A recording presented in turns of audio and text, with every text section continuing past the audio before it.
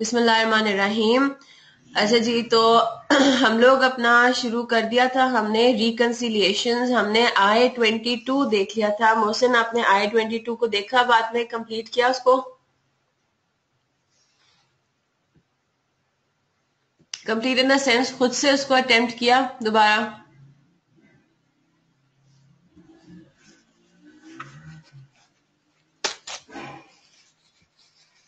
जी मोहसिन, आवाज़ आ रही है आपको?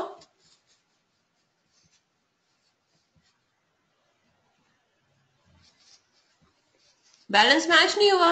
वही वही क्यों? क्या हो गया? हमने आई ट्वेंटी टू का हमने यहाँ से कंप्लीट किया तो था कंप्लीट नहीं किया था हमने।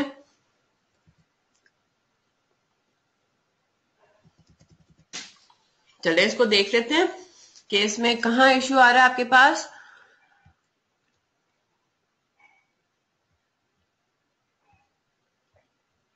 जुलेखा, आपको आइडिया तो है ना? अच्छा मैंने करने को दिया था, ठीक है, उसको चेक कर लेते हैं। जी, जुलेखा, आपको बच्चे आइडिया तो है ना इसका रिकनसिलियेशन वगैरह का कंट्रोल अकाउंट्स क्या होते हैं और उनको जब बना रहे होते हैं चले वेरी गुड तो ये मैंने डॉक्यूमेंट अपलोड किया हुआ है बेसिकली पैक का क्वेश्चन बैंक है। उसके जो कुछ क्वेश्चंस मैंने क्लास में कराने हैं ना, वो मैंने आपको अपलोड कर दिए थे, ताकि आपके पास ये रेडिली अवेलेबल हो हैंड आउट मैं आपको होमवर्क्स भी दूँगी तो इसी हैंड आउट से दूँगी, या फिर मैं आपको बता दूँगी कि पास पेपर जो अपलोडेड है आई कैप की वेबसाइट पे, वो आप डाउनलोड करके उसमें से आपने अटेम्प्ट करने क्वेश्चन ठीक है?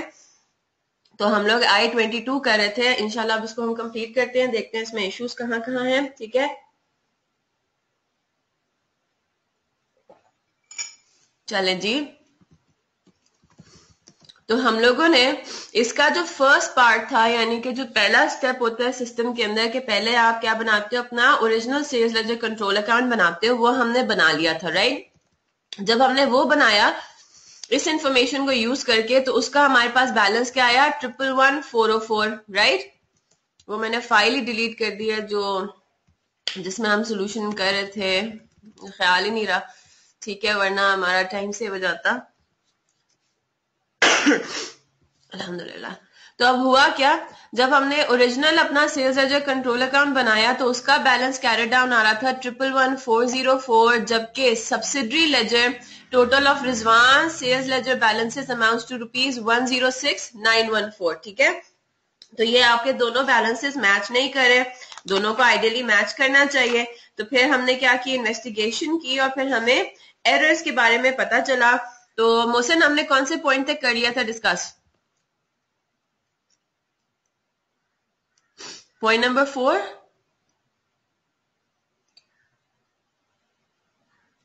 point number four तक, ये क्रेडिट सेल तक ये वाला? अच्छा इसके बाद वाला नहीं किया?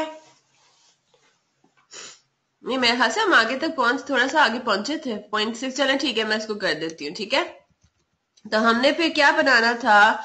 हम, मैंने आपको ये बताया था कि आपने अपनी आसानी के लिए क्या करना है? जो करेक्शंस करनी है पार्ट बी में मांग रहा है revise sales H A control account और पार्ट सी में वो मांग रहा है रिकनसिलियेशन स्टेटमेंट राइट लेकिन हम उसको क्या करेंगे? साथ साथ ही बनाएँगे ताकि हमारे लिए आसान हो जाए। तो हमने कुछ इस तरह से बनाया था। Revise sales ledger control account में उसी डेट पे यानी कि कौन सी डेट आपके पास आ गई? है ये आ, जो साल का आखिरी दिन है which is thirty first July 2014 thirty first July 2014 पे हमने ब्रॉड डाउन लिख लिया था। ये मैं अभी डिस्कस नहीं कर रही ठीक है? ये मैं सिर्फ़ यहाँ पे लिख रही हूँ जो हम ऑलरेडी कर चुके हैं। तो किसी को अगर इश्यू होगा तो वो रिकॉर्डिंग सुन ले परसों की ठीक है?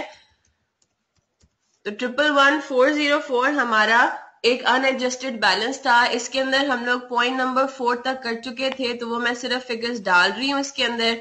Abdul Razak had returned goods worth 710 but this sum was recorded as 170 in his account his account की बात आ गई, यानी कि सेल्स लेजर सब्सिडरी लेजर में एरर है तो हम कहा जाएँगे? रिकनसिलियेशन स्टेटमेंट में पहले हम लिखेंगे टोटल एज पर लिस्ट ऑफ़ बैलेंसेस ठीक है? और वो हमारे पास आ जाएगा 106 nine one four. One zero six nine one four आया, फिर हमने पहले पार्ट में क्या करना था? ऐड करना था क्यों? सॉरी क्या है हमारे पास? सेल्स रिटर्न्स है। सेल्स रिटर्न्स है जो कि अंडर रिकॉर्डेड है। तो हमने इसको लेस करना था।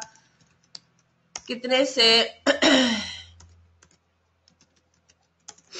सेवन टेन की सेल रिटर्न थी, उसको उन्होंने रिकॉर्ड किया था एज वन सेवेंटी। तो हमने 540 से यहाँ पे लेस करना था। आगे चलते हैं। आगे हमारे पास सेकेंड पार्ट में आ रहा है। अंडर कास्टिंग हुई है। सेल्स डे बुक की 880 से कास्टिंग का एरर होता है तो वो सिर्फ़ और सिर्फ़ कंट्रोल अकाउंट को हिट करता है। इसका मतलब है हमने सेल्स को अंडर रिकॉर्ड किया हुआ था। तो हमने क्या कर दिया? 880 से फर्दर इस अकाउंट को डेबिट कर दिया। ठीक है? आगे चलते हैं। आगे हमारे पास आता है थर्ड पॉइंट में आता है refund to a credit customer Danish was made through a cheque of 331 this payment was correctly recorded in cash book and Danish individual account however it was posted to purchase account यानी कि इसमें receivable control account को debit होने से रह गया था double entry पास करते हुए। तो यहाँ पे हमने रिफंड इनकरेक्टली रिकॉर्डेड ये हमने यहाँ पे डेबिट कर दिया, ठीक है? आगे चलते हैं। आगे आपके पास आ रहा है a credit sale of rupees two seven two zero to customer Yasir was entered on the credit side of Yasir account तो सेल जो होती है जुलेखा आप काइंडली आपको रिवाइज करने की ज़रूरत शायद थोड़ी पड़े, ठीक है? तो अगर आपको अभी समझ में ना आ रहा हो और लग रहा हो कि जी तो मुझे कुछ समझ ही नहीं आ रहा तो आप टेंशन मत लो। सवाल हम असल में डिटेल में कर चुके हैं पहले ही तो आई ट्वेंटी टू हम जल्दी से गुजार देंगे, क्योंकि मैंने बाकी चीज़ें होमवर्क में दे दी थी, ठीक है? तो ये चीज़ें हम जल्दी से गुजार देंगे। जो हम दूसरा सवाल करेंगे ना अभी क्लास के अंदर, उसमें फिर हम पूरा सवाल डिस्कस करेंगे, उसको समझेंगे और फिर इंशाल्लाह उसको अटेम्प्ट करेंगे तो वो इंशाल्लाह आपको सब कुछ बिल्कुल समझ में आ जाएगा। अभी मैं टाइम दोबारा नहीं लगा रही इस पे कि मैं हम दोबारा से क्वेश्चन को गो थ्रू करें, क्या सिनेरियो था, कैसे अटेम्प्ट करना है, ठीक है? तो आप बस पाँच दस मिनट और हमारे साथ बेयर करो। जस्ट बेयर विद अस और बस ये क्वेश्चन हम कंप्लीट करते हैं, फिर हम हो सकता है दो सवाल अटेम्प्ट कर लें आज की क्लास में और तो हम फिर इनशाला उसको प्रॉपरली करेंगे, ठीक है? फिर ये बात थी credit sale of rupees two seven two zero to customer Yasir was entered on the credit side of Yasir account तो सेल है सेल क्रेडिट सेल आपकी डेबिट होनी चाहिए थी, आपने क्रेडिट कर दिया तो आपको डबल अमाउंट से क्या करना है? डेबिट करना है। कहाँ पे गलती हुई? यासिर के अकाउंट में, यानी कि सेल्स लेजर में ये एरर हुआ यासिर के इंडिविजुअल अकाउंट में तो आपने कहा जाके इसको ठीक करना है? रिकनसिलियेशन स्टेटमेंट में, ठीक है? तो क्योंकि अब हमने सेल को प्रॉपरली रिकॉर्ड करना है तो हम क्या करेंगे? डेबिट करेंगे, ठीक है? Recorded on the incorrect side ठीक है? और इसको हमने क्या कर देना है? यहाँ पे हम वर्किंग दिखा देंगे two seven two zero multiplied by two double the amount से हमने इसको ऐड करना है, यानी कि फाइव डबल फोर ज़ीरो से। यहाँ तक हमने क्लास में कर लिया था। आगे चलते हैं। A discount of rupees 770 received from a supplier has been entered in the debit side of a customer account. गलती हमें पता लग गई कि गलती कहाँ की है? कस्टमर के अकाउंट में सिर्फ़ कोई गलती हुई है। कंट्रोल अकाउंट इसमें बिल्कुल ठीक है। यानी कि करेक्शन हमें सिर्फ़ किसमें करना है? रिकनसिलियेशन स्टेटमेंट में। अब देखते हैं कि हुआ क्या। आप अपने पास समझने के लिए वर्किंग में एक छोटा सा टी अकाउंट भी बना सकते हैं, ठीक है? समझने के लिए कि क्या होना चाहिए था, क्या हुआ, जिस तरह मैं क्लास में कर रही हूँ। वर्किंग में अलग से आप इस तरह से अकाउंट बना के अपने कर लें, हो चाहे तो पेंसिल से कर लें और बाद में उसको मिटा दें छोटा सा बना लें, ठीक है? तो फॉर एग्ज़ाम्पल ये कौन थे? मिस्टर ए हमारे कस्टमर थे, हुआ क्या? A discount of 770 received from a supplier has been entered in the debit side of a customer account. तो ये तो हमें सप्लायर से डिस्काउंट रिसीव हुआ है। कस्टमर के अकाउंट में तो इन एनी केस उसको रिकॉर्ड होना ही नहीं चाहिए था 770 को, है ना? तो हमने क्या कर दिया?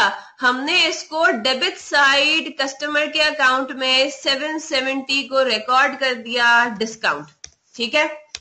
हालाँकि ये डेबिट साइड में किसके होना चाहिए था? सप्लायर के अकाउंट में होना चाहिए था। यहाँ पे मिस्टर ए कौन है हमारे? मिस्टर ए को हम कह रहे हैं हमारा कस्टमर है, ठीक है? यहाँ पे चाहिए तो ये ले। कस्टमर अकाउंट अगर किसी को इश्यू है तो। अभी हमने क्या करना है? हमने ये कहना है कि 770 हमारे टी अकाउंट में, इस टी अकाउंट में आना ही नहीं चाहिए था। तो हम क्या कर देंगे? करेक्ट करने के लिए 770 को क्रेडिट कर देंगे। एरर रेक्टिफिकेशन राइट तो जब हम सही करने के लिए 770 से कस्टमर के अकाउंट को हमने क्रिएट किया, क्योंकि हमने उसका इफ़ेक्ट खत्म करना था तो हम यहाँ पे क्या करेंगे? माइनस राइट माइनस करेंगे 770 रिसीवेबल अकाउंट को आपने क्या कर दिया? आपने क्रेडिट कर दिया करेक्शन करते हुए। तो करेक्शन शो इसको रिकन्सिलियेशन स्टेटमेंट में करेंगे माइनस साइन से, ठीक है?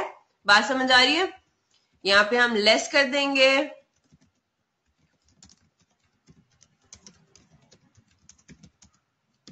जी, मोहसिन क्लियर है बच्चे?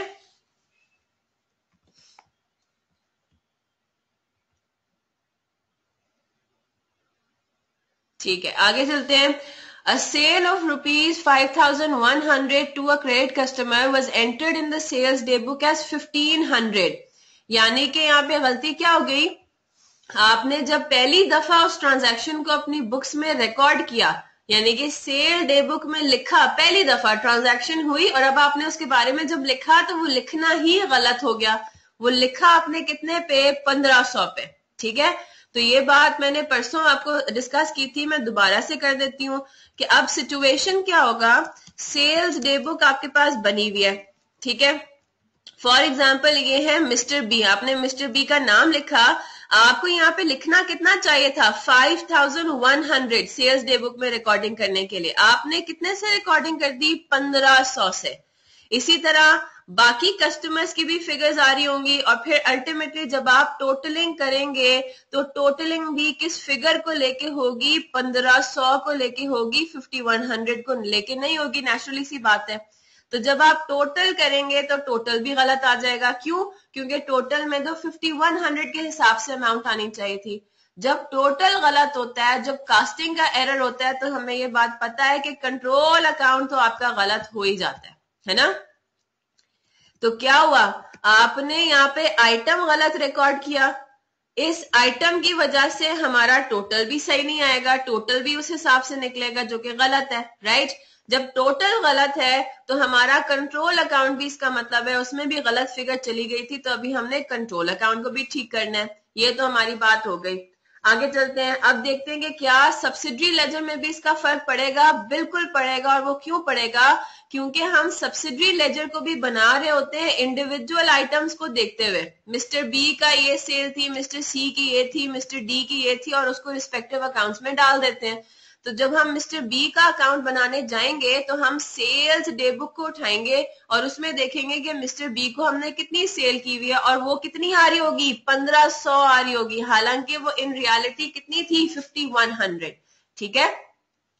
तो कास्टिंग में भी मसला आ गया और आपका इंडिविजुअल जो जो खास आइटम था, वो वैसे ही आपने रिकॉर्डिंग रिकॉर्डिंग भी गलत की हुई थी। तो क्या मतलब हुआ? इसका मतलब है कि आपका सब्सिडरी लेजर में जो कस्टमर अकाउंट बना था कस्टमर अकाउंट मिस्टर ए या मिस्टर बी जो भी थे, उनका आपको फिफ्टी वन हंड्रेड से सेल उनको की थी आपने। आपने फिफ्टी वन हंड्रेड से डेबिट करने के बजाय पंद्रह सौ से उनको डेबिट कर दिया तो इसका मतलब है अब आपको कस्टमर का इंडिविजुअल अकाउंट भी ठीक करना है। तो ये बात क्लियर हो गई कि ये वाला आइटम आपका दोनों जगह पे करेक्शन इसकी चाहिए। हमें कंट्रोल अकाउंट में भी गलती है और किधर गलती है? कस्टमर अकाउंट में भी है। अब वो कस्टमर अकाउंट में वो फर्दर आपको गलती बता रहा है। वो ये कह रहा है कि यहाँ पे इसने एक और गलती कर दी और वो क्या गलती कर दी? Posted to the credit side of the customers account यानी कि अगर सब कुछ सही सही चल रहा होता तो हम क्या करते ज़्यादा से ज़्यादा? क्या गलती होती? ये गलती होती। कि आपने डेबिट साइड पे सेल्स को रिकॉर्ड किया? 1500 से कस्टमर अकाउंट में इससे भी दो, एक हाथ आगे गलती होगी और वो क्या गलती हो गई? Customer account was credited as rupees five ten ये क्या थी? सेल थी।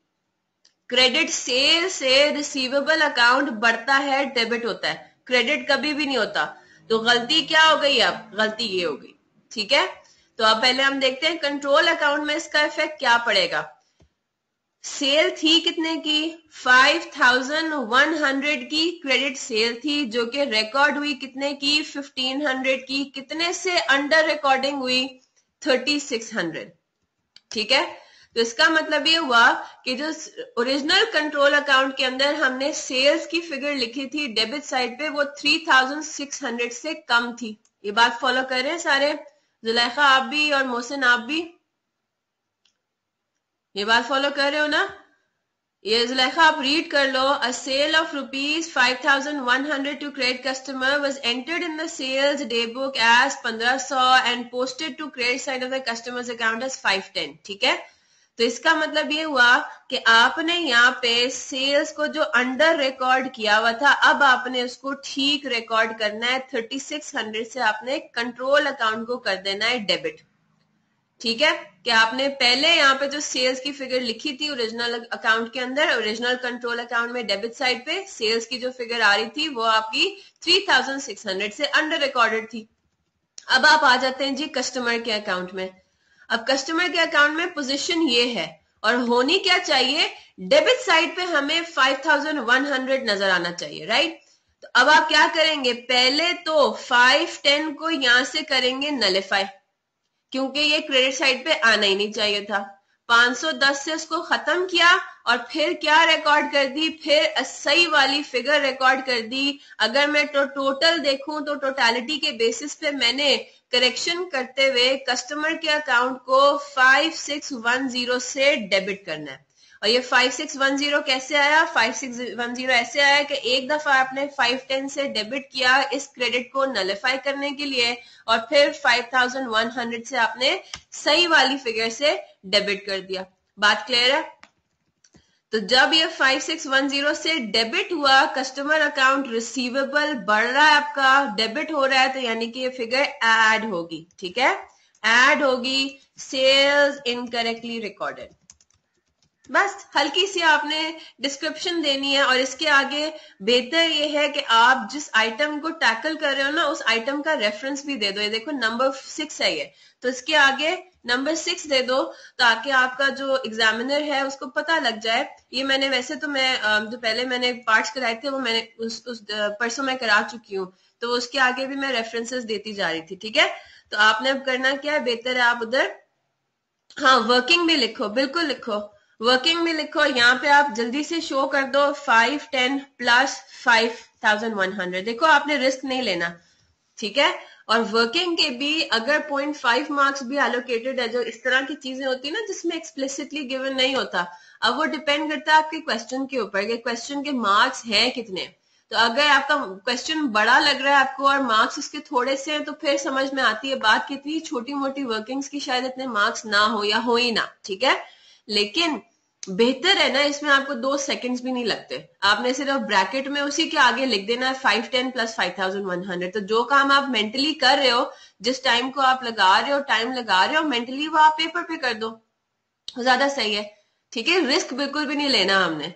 और हम इंशाल्लाह प्रैक्टिस कर करके हमने अपनी स्पीड भी बढ़ानी है राइटिंग की, ठीक है? हम प्रैक्टिस कर करके टेस्ट इंशाल्लाह कर करके आपने यही प्रैक्टिस अपनी करनी है कि जी मैंने within the given time मैंने अपने क्वेश्चन को अटेम्प्ट करना है। क्लास में जो हम काम कर रहे होते हैं नेचुरली सी बात है, उसमें तो हमें ज़्यादा टाइम लग जाता है, ठीक है? लेकिन कंट्रोल अकाउंट्स के मैं आपको इनशाला नेक्स्ट वीक मंडे या ट्यूसडे को मोस्ट प्रॉब्ली ट्यूसडे को मैं आप लोगों को एक डॉक्यूमेंट भेजूँगी प्रैक्टिस क्वेश्चंस के लिए। जब हम ये कंट्रोल अकाउंट्स काफ़ी हद तक कवर कर चुके होंगे ना रिकनसिलियेशन हम जब क्लोज कर रहे होंगे तो मैंने आखिर में मैं यहाँ पे बेसिकली रेगुलर स्टूडेंट्स को कराती हूँ प्रैक्टिस सेशंस में कराती हूँ यहाँ पे। तो उन प्रैक्टिस सेशन में क्या होता है कि वो क्लास के अलग होते हैं वो उसमें ये होता है कि जिस तरह कंट्रोल अकाउंट्स का चैप्टर कंप्लीट हो गया तो नेक्स्ट uh, वीक फिर हम क्या करते हैं जी एक प्रैक्टिस uh, सेशन रख लेते हैं क्योंकि control accounts is a very it's considered to be a difficult topic for the students right तो फिर हम क्या करते हैं, हम प्रैक्टिस सेशंस रखते हैं और वो एक किस्म का होता है कि आप क्लास में बैठे होते हो और मैं आपको क्वेश्चंस देती हूँ सिर्फ़ और टाइम पीरियड में फिक्स कर लेती हूँ, मैं वहाँ पे खड़ी रहती हूँ। It's not exactly a test लेकिन मोर लाइक अ टेस्ट ठीक है? ये टेस्ट है नहीं काउंट नहीं होते मार्किंग इसकी एसच नहीं होती, लेकिन बस उसका कॉन्सेप्ट ये होता है कि आपको within the time period question attempt करना आ जाए। तो चार पाँच छह सवाल होते हैं और वो फिर हम over a period of two two three lectures तब क्लासेस हम इस तरह से प्रैक्टिस सेशंस कंडक्ट कराते हैं। तो ऑब्वियसली अब मैं आप लोगों को तो नहीं करा सकती। मैं सिर्फ़ ये काम कर सकती हूँ कि मैं आपसे वो डॉक्यूमेंट शेयर कर दूँ, जिसमें सारे क्वेश्चन होंगे। चार क्वेश्चन हैं कंट्रोल अकाउंट्स के। मैंने उनके आगे मार्क्स लिखे हुए होंगे और मैं उनको आपको बता दूँगी कि इस सवाल में इतना टाइम लगना चाहिए, इस सवाल में इतना टाइम लगना चाहिए। फिर आप लोग घर बैठ के खुद अपने आप को टाइम करके उसको सॉल्व करके मुझे भेज दें। और फिर मैं देख लूँगी। और जैसे ही टाइम अप हो जाएगा, मैं आपको कहूँगी, मैं आपको कहूँगी कि भाई आपने जैसे ही टाइम अप हो जाए ना, आपने फ़ौरन अपना पेन छोड़ देना है। जितना भी सवाल अटेम्प्ट हुआ हो। और फिर आप उस, उन्हीं क्वेश्चंस को बार बार रिपीट करें जल्दी जल्दी कोशिश करने करने की कोशिश करें। जो हम क्लास में कर चुके हैं, उनको अभी टाइम करना शुरू कर दें। ये जो बाकी हम चैप्टर्स कर चुके हैं बुक्स ऑफ़ प्राइम एंट्रीज का हो गया डबल एंट्री का हो गया, उसमें ये चीज़ करना शुरू कर दें। आपको मार्क्स गिवन होते हैं, आप अपने आप को टाइम करें उस तरह से प्रैक्टिस करें, ठीक है? तो उससे हमें ये वाली बात आ जाती है। फिर जो छोटी मोटी वर्किंग्स है ना, ये भी आपको लिखने में फिर इंशाल्लाह ज़्यादा टाइम नहीं लगेगा प्रैक्टिस से। ठीक है? तो टाइम मैनेजमेंट वाकई में बहुत इश्यू होता है बच्चों के लिए। तो प्रैक्टिस अभी करेंगे तो इनशाला क्यों नहीं होगा कंट्रोल में वो? सही है? आगे चलते हैं। No entries have been made in control for bad return of 1390 तो ये हम डिस्कस कर चुके थे परसों कि इंक्रीज इन प्रोविज़न तो वैसे भी कंट्रोल अकाउंट्स में नहीं आएगा। प्रोविज़न तो वैसे ही नहीं आता। तो आपने सिर्फ़ और सिर्फ़ यहाँ पे जो बैड डेट नहीं आपने रिकॉर्ड किया था 1390 का, वो सिर्फ़ आपने क्रेडिट साइड पे दिखा देना है, ठीक है? ये आपने कर लिया। फिर आगे आता है। Purchase ledger contra for rupees seven fifty was omitted from the control account यानी कि कॉन्ट्रा आपका ओमिट हो गया। तो आपने क्या कर देना है? सेवन फिफ्टी यहाँ रिकॉर्ड कर देना है। अब आगे चलते हैं। Furthermore it was posted to the debit side of the customer's account as five seventy ठीक है तो अब हम देखते हैं कि कस्टमर के अकाउंट में इसकी रिकॉर्डिंग होनी क्या चाहिए थी और हुई क्या। क्या था ये आइटम ये आइटम था कॉन्ट्रा का। तो कस्टमर अकाउंट कॉन्ट्रा से, जिस तरह कंट्रोल अकाउंट कॉन्ट्रा से हमेशा क्रेडिट होता है तो मैं आपको ये बात बार बार रिपीट कर चुकी हूँ कि जो काम कंट्रोल अकाउंट में होता है, वही काम इंडिविजुअल कस्टमर के अकाउंट में भी होगा। कॉन्ट्रा अगर क्रेडिट हमें नज़र आ रहा है तो कस्टमर के अकाउंट में भी रेलिवेंट कस्टमर के अकाउंट में भी वो क्रेडिट हो रहा होगा राइट और ये बात मैं आपको बता भी चुकी हूँ कॉन्ट्रा डिस्कस करते हुए। बैड डेट क्रेडिट होगा सेल रिटर्न क्रेडिट होगा so on and so forth right तो होना क्या चाहिए था? रेलिवेंट कस्टमर का अकाउंट भी कॉन्ट्रा से क्या होना चाहिए था? क्रेडिट होना चाहिए था 750 से, लेकिन वो क्या कह रहे हैं? Furthermore it was posted to the debit side of the customer's account as 570 तो ये करने के बजाय क्या कर दिया उन्होंने? कॉन्ट्रा से कस्टमर अकाउंट को डेबिट कर दिया और फिगर भी गलत लिख दी। क्या करेंगे इसमें? मोहसिन और जुलेखा क्या करेंगे? अब करेक्ट करना है आपने इसको। थर्टीन ट्वेंटी को इसमें से माइनस करेंगे। थर्टीन ट्वेंटी से हम बिल्कुल ठीक थर्टीन ट्वेंटी से हम बेसिकली क्रेडिट करेंगे कस्टमर के अकाउंट को। दोबारा क्रेडिट करेंगे, एक दफ़ा क्रेडिट करेंगे 570 से वेरी गुड और फिर आपको एक और दफ़ा क्रेडिट करना पड़ेगा 750 से, है ना? बिल्कुल वेरी गुड जुलेखा गुड अल्हम्दुलिल्लाह. तो आप टोटल कितने से क्रेडिट कर रहे हैं? 570 प्लस 750 तो मैं इसकी जगह ये भी लिख सकती हूँ कि एरर की रेक्टिफिकेशन के लिए कि मैं क्या करूँ? आपका 1320 से कस्टमर का अकाउंट क्रेडिट करूँ कस्टमर का अकाउंट क्रेडिट करने से क्या मुराद है कि रिकंसिलिएशन स्टेटमेंट में मैं 1320 माइनस कर दूँ? देखिए, ये तो ये जो मैंने टी अकाउंट बनाया है, ये तो मेरी वर्किंग का पार्ट है राइट मैं तो उसको सिर्फ़ समझने के लिए बना रही हूँ, है ना? हमारा असली आंसर क्या है? हमारा असली आंसर यहाँ पे माइनस होते हुए दिखाया जाएगा लेस कॉन्ट्रा इनकरेक्टली रिकॉर्डेड कुछ आगे ज़रूरी नहीं है बताना कि भाई क्या हुआ था। वो वो क्वेश्चन में मेंशन हुआ हुआ है और आप पार्ट का रेफरेंस यहाँ पे लिख दोगे एट पार्ट है। तो वो एग्जामिनर को खुद समझ आ जाएगी कि आपने क्या किया। यहाँ पे छोटी सी आप वर्किंग भी दिखा दें, क्या 570 प्लस 750 ठीक है, आगे चलते हैं। Column total of rupees one three two zero of sales return day book was posted to the customer account instead of control account तो यहाँ पे हुआ क्या? यहाँ पे हुआ ये, देखिए सेल्स रिटर्न्स डे बुक का टोटल कॉलम का टोटल कहाँ जाता है? कंट्रोल अकाउंट में जाना चाहिए ये, है ना? जनरल लेजर में। लेकिन वो क्या बता रहा है? वो कंट्रोल अकाउंट में पोस्ट होने के बजाय कहाँ चला गया? कस्टमर अकाउंट में चला गया। तो कंट्रोल अकाउंट में भी गड़बड़ हो गई। क्यों? उसमें एक एंट्री जानी चाहिए थी जो कि नहीं गई। और कस्टमर अकाउंट में भी गलती हो गई सेल्स लेजर में भी गलती हो गई और वो क्या गलती होगी कि वहाँ पे एक अमाउंट थी जो कि नहीं आनी चाहिए थी और आपने वो दिखा दी। कितने की? वन थ्री टू ज़ीरो की राइट तो अभी आपने इसमें क्या मतलब हुआ? इसमें आपने दोनों को करेक्ट करना है। दोबारा पढ़ लें जुलेखा इसको। Column total of rupees one three two zero of sales return day book day book का जो टोटल था, वो जाना चाहिए था। सिर्फ़ कंट्रोल अकाउंट में वो वहाँ नहीं गया। वो इंडिविजुअल कस्टमर के अकाउंट में गलती से आपने रिकॉर्ड कर दिया ठीक है? तो अब इसको हमने करेक्ट करना है। दोनों जगह पे करेक्शन होगी।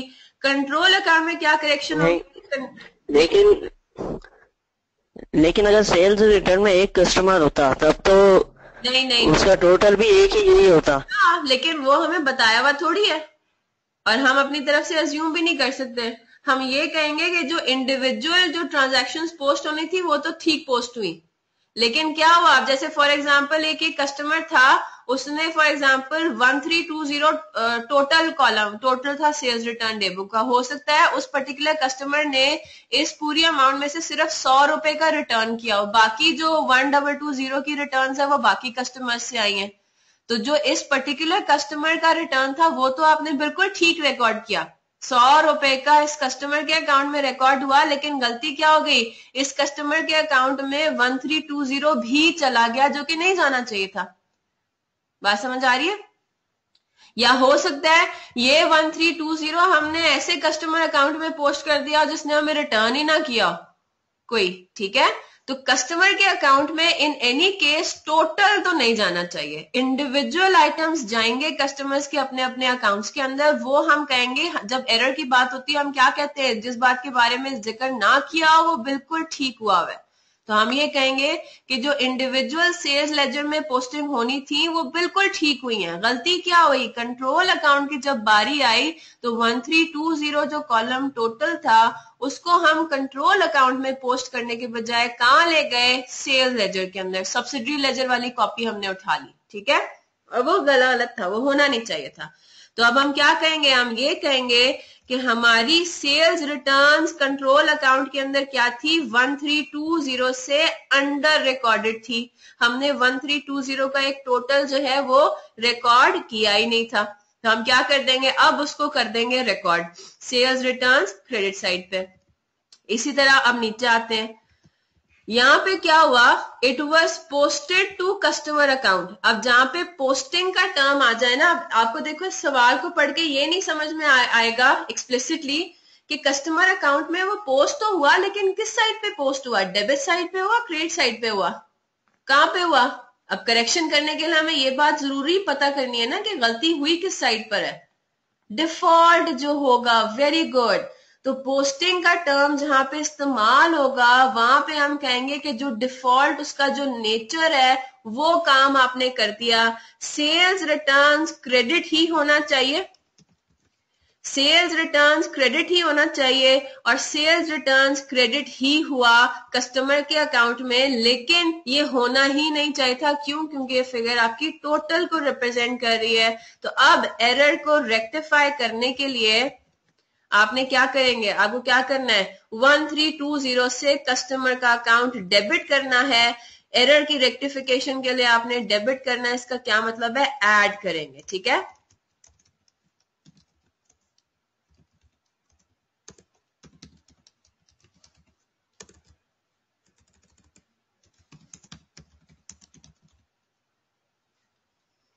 बस इसको यहीं पे लिख दें, इस तरह से रॉन्गली रिकॉर्डेड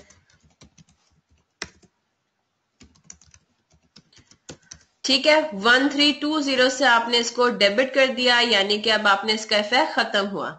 ये मिस्टेक हुई थी, बिल्कुल। अच्छा ये मिस्टेक हुई थी आपसे? अच्छा अच्छा ठीक है। आपने क्या कर दिया था? माइनस कर दिया था?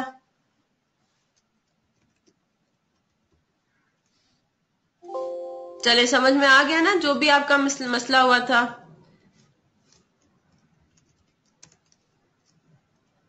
स्किप कर दिया था? ओए होए अच्छा चलो, ठीक है। सही है, आगे बस दो रहते हैं, जल्दी से खत्म करते हैं इसको। A discount of ten percent was allowed on settlement of double three one zero यानी कि आपने डिस्काउंट अलाउ किया था थ्री थ्री वन का। Only net payment was recorded in cash book and then posted to debtors control account यानी कि discount की कोई रिकॉर्डिंग हुई नहीं कंट्रोल अकाउंट के अंदर। और इसी तरह सेल्स लेजर में पूरी ट्रांजैक्शन की कोई रिकॉर्डिंग नहीं हुई। यानी कि कंट्रोल अकाउंट में डिस्काउंट अलाउड नहीं रिकॉर्ड हुआ।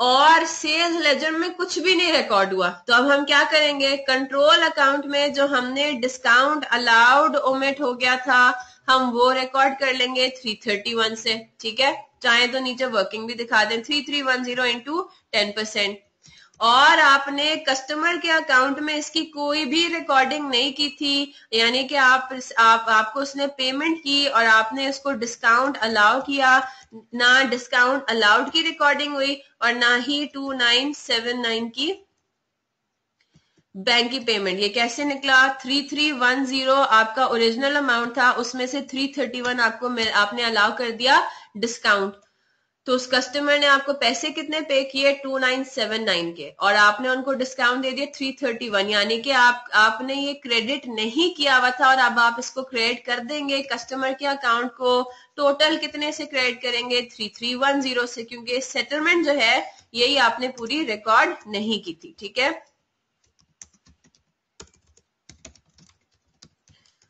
सही है? आगे चलते हैं। Azhar Mahmood was both a customer and a supplier. He had a balance of rupees 920 in the purchase ledger and rupees 1120 in the sales ledger. The contra entry was made in the control account. यानी कि जुलेखा आपको ये पता है ना Contra entry में देखें अभी दो बैलेंसेस हैं कॉन्ट्रा एंट्री का कॉन्सेप्ट पता है ना आपको जी तो अब देखिए इसमें क्या कह रहा है अजहर महमूद आपका कस्टमर भी था और सप्लायर भी था। उसका बैलेंस था 920 का। हाँ ऑपोजिट इसकी ट्रीटमेंट करते हैं। बिल्कुल ठीक। लेकिन अब आप मुझे एक बात बताओ, अब यहाँ पे आपको दो फिगर्स गिवन है कॉन्ट्रा एंट्री किससे पास करेंगे? वो ये कह रहा है he had a balance of rupees nine twenty in the purchase ledger purchase ledger से क्या मुराद है? वो जगह जहाँ पे आप अपने सप्लायर्स की रिकॉर्डिंग करते हो। तो 920 हमारा पेबल है अजहर महमूद को हमारा right and rupees double one two zero in the sales ledger sales ledger से मुराद वो वाली जगह है जहाँ पे हम अपने डेटर्स की रिकॉर्डिंग करते हैं तो जहाँ पे अजहर महमूद हमारा कस्टमर था कस्टमर से हमें रिसीवेबल कितना था वन वन टू ज़ीरो से अजहर महमूद से रिसीवेबल था डबल वन टू ज़ीरो और अजहर महमूद को ही पेबल था नाइन ट्वेंटी क्योंकि हमारा कस्टमर भी है सप्लायर भी है। तो आप मुझे एक बात बताओ कॉन्ट्रा एंट्री कौन सी फिगर से पास करनी है? एक फिगर इसमें से पिक होगी, कौन सी वाली होगी? हाँ नहीं नहीं नहीं, अगर वाली बात नहीं है रिसीवेबल हमेशा क्रेडिट होगा, अगर ज़्यादा हो, अगर कम हो, दोनों सिनेरियोज में। अगर यहाँ पे रिसीवेबल 920 होता और payable double one two zero होता तब भी हमारी डबल एंट्री क्या पास होनी थी? Payable control account debit receivable control account credit और सब्सिडरी लेजर में पेबल अकाउंट डेबिट और रिसीवेबल अकाउंट क्रेडिट हमेशा ये बात आप याद रख लो। कॉन्ट्रा एंट्री फिक्स्ड है। वो फिक्स्ड क्या है? रिसीवेबल अकाउंट हमेशा क्रेडिट होगा पेबल अकाउंट हमेशा डेबिट होगा ऑपोजिट होगा। अब सवाल सिर्फ़ ये आता है कि फिगर कौन सी पिक होगी? आपको दोनों, जो भी फिगर्स गिवन है, आपने इस बात को भी भूल जाना है कि कौन सी पेबल है, कौन सी रिसीवेबल है। बड़ी कौन सी है, छोटी कौन सी है, सब कुछ से आपका कोई ताल्लुक नहीं है। आपने इन दोनों फिगर्स को देखना है और इन दोनों फिगर्स में से जो लोअर अमाउंट है, उससे आपने ये डबल एंट्री पास करनी है। यानी कि 920 से, अब देखिए, मैंने ये नहीं देखा कि 920 क्या था? 920 रिसीवेबल था या पेबल था? कम वाला कौन सी फिगर थी? नहीं। मैंने ये देखा कि मुझे अजहर महमूद से एक रिसीवेबल फिगर गिवन है, एक पेबल फिगर गिवन है। मैंने क्या किया? उन दोनों में से चेक किया कि लोअर फिगर कौन सी है? वो निकली 920 और 920 से मैंने कॉन्ट्रा की फिक्स्ड एंट्री पास कर दी, जो कि क्या होती है? Receivable control account credit payable control account debit clear है बात? ये बात फिक्स है। ये अगर वाली बात नहीं है कि अगर रिसीवेबल ज़्यादा होगा तो हम रिसीवेबल को क्रेडिट कर देंगे। नहीं। रिसीवेबल अगर कम भी होगा, तब भी हम रिसीवेबल को क्रेडिट ही करेंगे और पेबल को डेबिट ही करेंगे। है ना मुझसे नहीं बात क्लियर है ना बच्चे आपको भी? ठीक है? तो अब वो ये कह रहा है कि contra entry was made in the control account control account में पेबल कंट्रोल अकाउंट डेबिट हो गए रिसीवेबल कंट्रोल अकाउंट क्रेडिट हो चुका है but no entry was made to Azhar Mahmood account यानी कि सब्सिडरी लेजर में जो अजहर महमूद के दो अकाउंट्स मौजूद थे, उनमें ये कॉन्ट्रा की डबल एंट्री नहीं हुई। तो अभी हम सिर्फ़ किसको देख रहे हैं? सिर्फ़ सेल्स लेजर को देख रहे हैं। तो हम ये कहेंगे कि यहाँ पे जो अजहर महमूद का जो कस्टमर अकाउंट होगा ना, जिसमें वो कस्टमर का उसकी एज अ कस्टमर उसकी डीलिंग्स रिकॉर्ड करनी होगी, हमने अब उसके अंदर क्या क्या कर देना है? कॉन्ट्रा कर देना है। अब चेक आपका यहाँ पे टेस्ट होगा कि कौन सी फिगर से कॉन्ट्रा करेंगे तो वो अब आपने बात रख लेनी है। गिरा में बाँध लें उसको। 920 से lower of the two figure से करना होगा। ठीक है? इवन अगर ये 920 सेल्स लेजर की अमाउंट होती है यहाँ पे 920 लिखा होता है यहाँ पे डबल वन टू ज़ीरो लिखा होता, तब भी हम कॉन्ट्रैक्ट किससे पास करते? एग्जैक्टली exactly इसी तरीके से 920 क्लियर है बात? तो 920 से आपका क्रेडिट होगा, यानी कि आपने लेस कर देना है यहाँ से।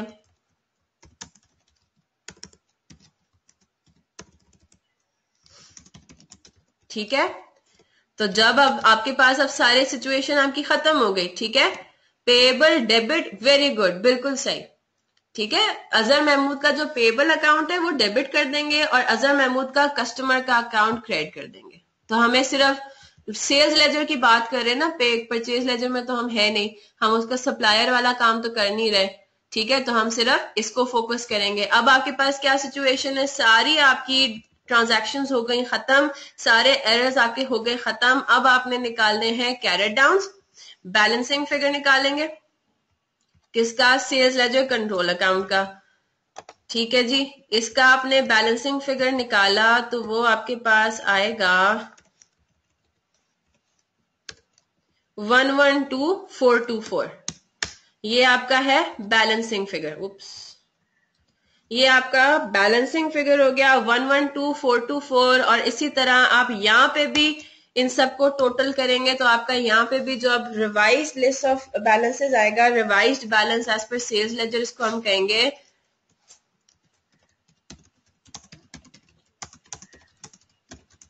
तो बेसिकली हुआ क्या? आपके पास ये इनकरेक्ट बैलेंस था। इसके अंदर आपने चीज़ों को करेक्ट किया और अब अल्टीमेटली ये फिगर किसमें कन्वर्ट हो गई? One one two four two four में। और जब हम कंट्रोल अकाउंट में revise sales ledger control account में जाते हैं तो अब उसमें भी बैलेंस कितना है? Incorrect balance you started with triple one four zero four and you ended up at one one two four two four ठीक है? और अब ये दोनों बैलेंसेस आपके मैच कर रहे हैं। ये वाला और नीचे वाला। ठीक है? So this is how you do it आगे चलते हैं, एक और क्वेश्चन देख लेते हैं।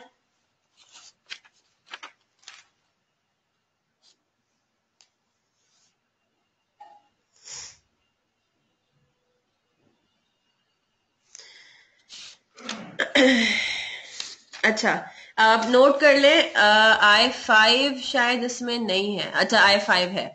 ये जो आपका क्वेश्चन नंबर आई फाइव है ना, ये आपका होमवर्क है, ठीक है?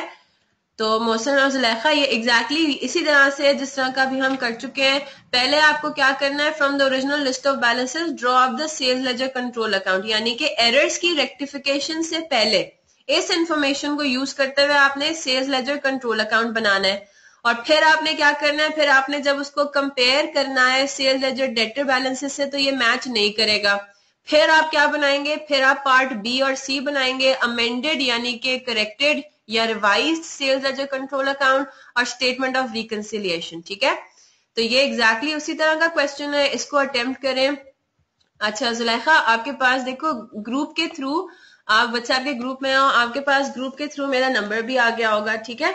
अब इस तरह का कोई सिनेरियो होता है ना होमवर्क वगैरह का तो वैसे तो मैं क्लास में पूछ लेती हूँ कि जी, आपने होमवर्क कर लिया प्रॉब्लम्स होते हैं तो हम डिस्कस कर लेते हैं, क्योंकि सिर्फ़ दो या तीन बच्चे ही होते हैं तो that becomes very easy for us right लेकिन आप इस तरह से भी कर सकते हो कि अगर आपने कोई होमवर्क किया है and you want to ask me something जो आपको पिंच कर रही है बात ठीक है?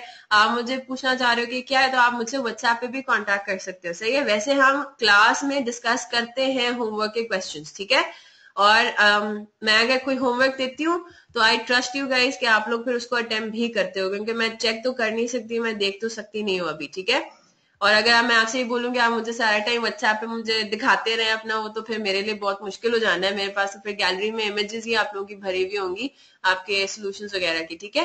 So that would become obviously difficult for me मैं हर दफ़ा चेक भी नहीं कर सकती आपके होमवर्क वगैरह, लेकिन मुझे एटलीस्ट नज़र भी नहीं आ रहा होगा कि भाई आपने रजिस्टर में किया हुआ या नहीं किया वैसे मेरे रेगुलर स्टूडेंट्स में तो मैं जाके चक्कर मार लेती हूँ क्लास में मैं देख लेती हूँ कि हर किसी ने अपने रजिस्टर में किया हुआ होता है। तो आई गेट सेटिस्फाइड राइट तो आपने मतलब अब इसमें फिर थोड़ा सा प्रॉमिस ही करना पड़ेगा कि जो मैं होमवर्क देती हूँ आपको, आप वो करेंगे। और जब मैं आपसे पूछूँगी कि भाई आपने होमवर्क में कोई इश्यूज़ आएँगे, आए हैं तो अगर आपको कोई इश्यूज़ आए हुए तो आप पूछ लें राइट तो आप वो मेरे से अलग से भी पूछ सकते हैं और आप मेरे से क्लास में भी पूछ सकते हैं। चले, ठीक है थैंक यू सो मच अल्हम्दुलिल्लाह।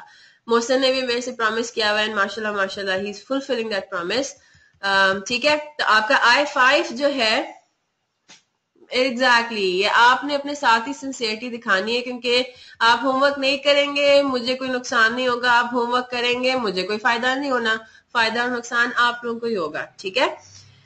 तो आई फाइव जो है, ये आपका होमवर्क है। अभी हम एक और सवाल देख लेते हैं जो कि आपका थोड़ा पेबल कंट्रोल अकाउंट से ताल्लुक है। उसका ये आप अपने पास नोट कर लें।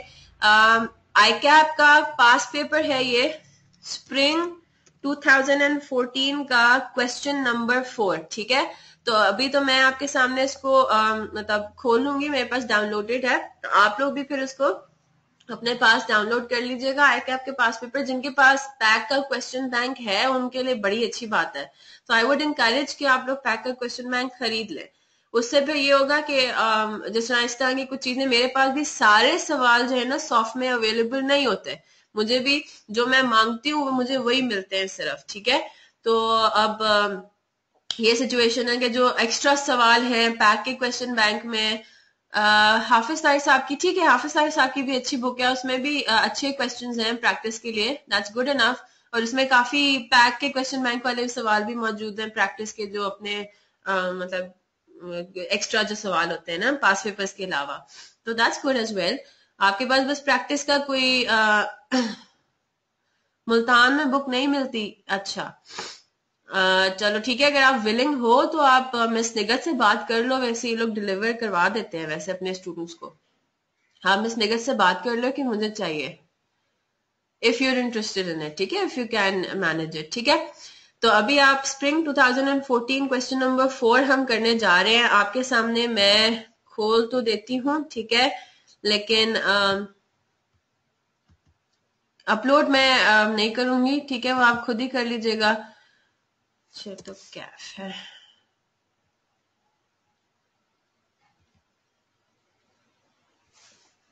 एक सेकंड मैं आपको ये चेक करके दे देती हूँ कि ये आपका मॉड्यूल हाँ ये है आपका फाउंडेशन एग्जामिनेशन में आपको मिलेगा। ये जब मॉड्यूलर सिस्टम था ना, ये मॉड्यूलर सिस्टम की आखिरी अटेम्प्ट है। फाउंडेशन एग्जामिनेशन मॉड्यूल बी का पेपर है स्प्रिंग 2014 ठीक है? तो आपको फाउंडेशन एग्जामिनेशन की हेडिंग में नज़र आएगा आई कैप की वेबसाइट पे। फाउंडेशन एग्जामिनेशन में आपको नज़र आएगा स्प्रिंग 2014 क्वेश्चन नंबर फोर देख लें यहाँ पे। क्वेश्चन नंबर फोर आपको क्या कह रहा है? अब इसमें आपको क्या बता रहा है वो? डायरेक्टली क्या चीज़ बता रहा है? कि जी, जब हम बैलेंस को चेक करने पर आए तो हमें जो डिफरेंसेस मिले, यानी कि ओरिजिनल कंट्रोल अकाउंट वो बना चुके हैं इस सिनेरियो में। आगे देखते हैं इसको। Trade creditors control account of ABC traders shows a credit balance of rupees seven eight nine six three two as at thirty first December दो हज़ार तेरह ठीक है? The total of subsidiary ledger balances is eight zero nine five four two अब यहाँ पे एक छोटा सा, अब छोटा सा कहूँ या बड़ा एरर कहूँ, इसमें एक एरर है, ठीक है?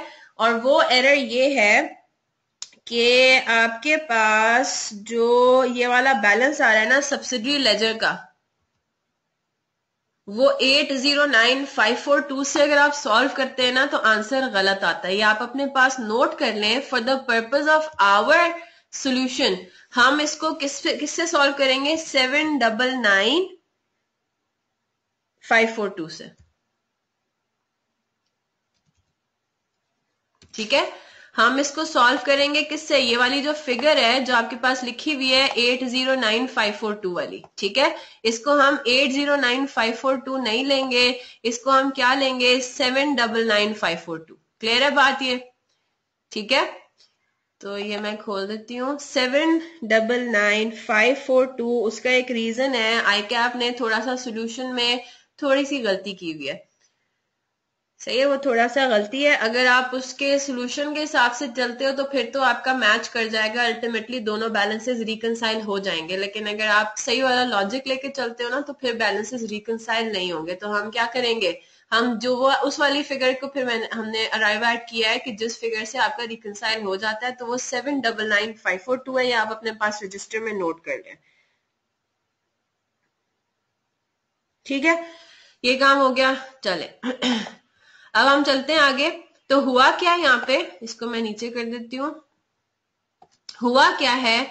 हुआ ये है कि आपके पास ट्रेड क्रेडिटर्स कंट्रोल अकाउंट का कितना है? बैलेंस है seven eight nine six three two और उसी दिन, यानी कि थर्टी फ़र्स्ट दिसंबर क्लोजिंग के टाइम पे जो सब्सिडी लेजर बैलेंसेस हैं, यानी कि इंडिविजुअल सप्लायर्स की अब हम बात करें इंडिविजुअल क्रेडिटर्स का जो टोटल निकलता है वो कितना निकलता है? Seven double nine five four two in this respect the following errors have identified और अब वो क्या कर रहा है? उसने इन्वेस्टिगेशन की। इसका क्या मतलब है कि जो पहला स्टेप था ओरिजिनल कंट्रोल अकाउंट बनाने का वो हो चुका।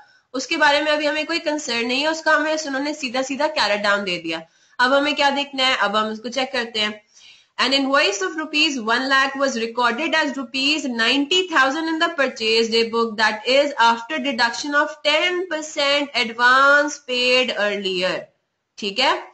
अच्छा ये आपने एडवांस पहले पे कर दिया था राइट आपको वो क्या कह रहा है, देखें इनवॉइस थी एक लाख रुपए की, आपने परचेज किया था एक लाख रुपए का, और उसकी रिकॉर्डिंग ओरिजिनल रिकॉर्डिंग ही कितने पे हुई परचेज डे बुक में? नाइन्टी थाउज़ेंड की, यानी कि जब आपने उस परचेज को पहली दफ़ा अपने बुक में रिकॉर्ड किया तो वही गलत फिगर पे, ये वही वाला सिनारी होगा जो हम पहले पढ़ चुके हैं आई ट्वेंटी टू में भी किया हमने। ऐसी ट्रांजैक्शन जो कि पहली दफ़ा रिकॉर्ड ही गलत हुई है बुक्स में तो उसका इम्पैक्ट दोनों जगह पे आएगा राइट तो अब इसको देखते हैं। ये आगे ये बता रहा है कि इसको नाइन्टी थाउज़ेंड पे इसने रिकॉर्ड क्यों किया? अब पहली नज़र में तो ये लग रहा है कि ये ट्रेड डिस्काउंट हो सकता है, लेकिन आगे वो ये बता रहा है कि that is after deduction of ten percent advance paid earlier इसका क्या मतलब है? एक लाख की हमें कोई चीज़ खरीदनी थी। हमने पहले ही टेन परसेंट यानी कि टेन थाउज़ेंड रुपीज़ इसका टेन थाउज़ेंड रुपीज़ आपने पे कर दिया था पहले ही एज एन एडवांस तो जब आप बाद में आपने चीज़ खरीदी उससे एडवांस से क्या मुराद है? चीज़ें खरीदने से पहले आपने कोई पेमेंट कर दी थी, ठीक है? और ये पेमेंट हुई थी इस पॉइंट से पहले, इस वाले पॉइंट से पहले इनवॉइस रिसीव होने से पहले. परचेज होने से पहले आपने कभी टेन थाउज़ेंड का पैसे पहले पे किए हुए थे। और जब आपने वो चीज़ अल्टीमेटली खरीदी, जब वो चीज़ आपके पास आई और आपने बुक्स में परचेज को रिकॉर्ड किया तो आपने उसको किस पे रिकॉर्ड कर दिया? नाइन्टी थाउज़ेंड पे। आपने ये कहा कि भाई जी एडवांस पहले पे किया हुआ है। एक लाख रुपए की आपके पास परचेज है एक्चुअली लेकिन मैंने रिकॉर्ड उसको नाइन्टी थाउज़ेंड पे कर दिया। तो ये गलत है ना? सिर्फ़ अगर ये ट्रेड डिस्काउंट होता तो फिर हम माइनस करके लिखते फिगर एडवांस में तो हमने ऐसी कोई चीज़ नहीं पढ़ी राइट ये बात समझ आ गई? ठीक है? तो आपने एक एडवांस पे किया हुआ था। आपने उसकी डिडक्शन दिखा दी। हालाँकि डिडक्शन नहीं दिखानी चाहिए थी परचेज पूरी एक लाख की ही है। वो तो आपने पेमेंट थोड़ी सी पहले कर दी हुई है, उससे उसका कोई ताल्लुक तो है नहीं राइट परचेज तो आप एक लाख की दिखाओगे राइट क्लियर है ना ये बात? परचेज आपकी एक लाख रुपए की है, आपने सिर्फ़ पेमेंट इसकी थोड़े हिस्से की पहले से पे कर दिया तो आप ये तो नहीं कहते कि जी मैंने पहले से पे कर दिया है तो अब मैं परचेज कम की दिखाऊँगा। नहीं राइट अब यहाँ पे क्या मसला आया? परचेज डे बुक में इसकी रिकॉर्डिंग ये कितने पे हो गई? नाइन्टी थाउज़ेंड पे हो गई। जब इसका आपने लिखा इसको ninety thousand as a result total भी किस किस किस हिसाब से हुआ? नाइन्टी थाउज़ेंड के हिसाब से हुआ, यानी कि टोटल में भी गलती हो गई। टोटल में भी गलती हो गई इंडिविजुअल ये आइटम भी गलत था, यानी कि सब्सिडी लेजर में भी इसका एरर होगा। टोटल में गलती कास्टिंग में गलती, यानी कि कंट्रोल अकाउंट इंडिविजुअल जो आपको आइटम लाइन में नज़र आ रहा है, वो भी कितना नज़र आ रहा है? नाइन्टी थाउज़ेंड नज़र आएगा। परचेज डे बुक के अंदर वो भी गलत है, एक लाख होना चाहिए था, यानी कि सब्सिडी लेजर परचेज लेजर भी आपका गलत है। तो ये एरर आपका हो जाएगा। दोनों जगह पे अब एक काम ये करते हैं साथ साथ ही हम बनाते रहते हैं। हमें क्या बनाना है? सवाल के अंदर रिक्वायरमेंट क्या है? सवाल की आपकी रिक्वायरमेंट है प्रिपेयर यहाँ पे देखें, पहले देख लेते हैं। सवाल की रिक्वायरमेंट क्या है? Prepare a reconciliation between trade creditors control account and the subsidiary ledgers ठीक है? As at 31st December 2013 indicating the correct balance that should appear in the control account. तो सवाल के अंदर पार्ट ए में वो क्या मांग रहे हैं आपसे? स्टेटमेंट ऑफ़ रिकंसिलिएशन और सेकेंड पार्ट में आपसे मांग रहा है पास journal entries wherever necessary यहाँ पे कहीं भी आपसे कंट्रोल अकाउंट रिवाइज नहीं मांग रहा। लेकिन आप क्या करेंगे? कंट्रोल अकाउंट अगर रिवाइज साथ साथ बनाते रहेंगे तो आपके पास एक चेक एंड बैलेंस के लिए अच्छा अपॉर्चुनिटी है ना? आपने आखिर में बस चेक करना है कि बैलेंस मैच कर रहा है, नहीं कर रहा और इसमें आप कंट्रोल अकाउंट बना भी सकते हैं। तो आप बनाए। आप एक काम ये करें जो आपका सोल्यूशन आप इस तरह से कुछ करेंगे कि पार्ट ए का जो मेन सोल्यूशन है ना, जो पहले आप लिखेंगे, वो आप लिखेंगे रिकनसिलियेशन स्टेटमेंट ठीक है? क्योंकि क्वेश्चन में रिक्वायरमेंट किसकी है सिर्फ़ और सिर्फ़ रिकनसिलियेशन स्टेटमेंट की तो your main answer will be what it would be reconciliation statement लेकिन अलग से दूसरे पेज पे वर्किंग के अंदर आप क्या बना दें? कंट्रोल अकाउंट रिवाइज्ड और दोनों को साथ साथ लेके चले। ठीक है? जल्दी जल्दी से। क्लियर है बात? तो यहाँ पे आप क्या बना दें? रिवाइज क्रेडिटर्स कंट्रोल अकाउंट सही है बात, सही है मोहसिन और जुलेखा क्लियर है ये बात? तो क्वेश्चन में मांगा नहीं गया लेकिन हम अपनी वर्किंग के लिए, क्योंकि हम इस सवाल में बना सकते हैं ना कंट्रोल अकाउंट रिवाइज तो हम उसको बनाएँगे। ठीक है? ग्यारह मार्क्स हैं, बाईस मिनट आपके पास है कि आप इसको इसमें अटेम्प्ट करो। तो कोशिश करते हैं अटेम्प्ट करें। चले, हम पहले फिगर्स को तो पुट इन कर लें प्लेस कर दें।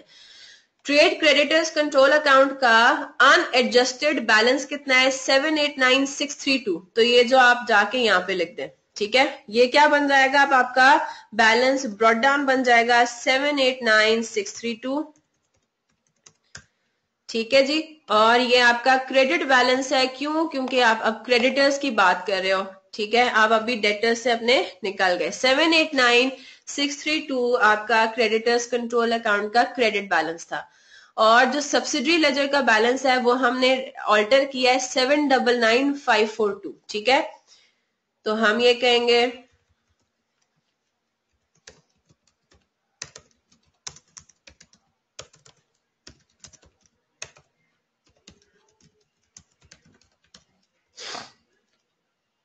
और ये आपके पास कितना है? Seven double nine five four two ठीक है?